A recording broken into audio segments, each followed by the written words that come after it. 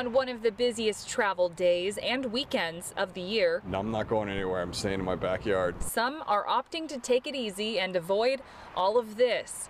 According to AAA, gas prices are the cheapest they've been in recent years, which might mean more cars on the road. I work in South Orange County. It took me hour and a half to get back down here. and normally takes 35 to 40 minutes. The national average for a gallon of gas was 258. For a Friday, it's surprisingly affordable. San Diego saw a dip, but still sits at a dollar more on average at 358. Officials say Memorial Day and 4th of July may still have this weekend beat as far as the volume of travelers.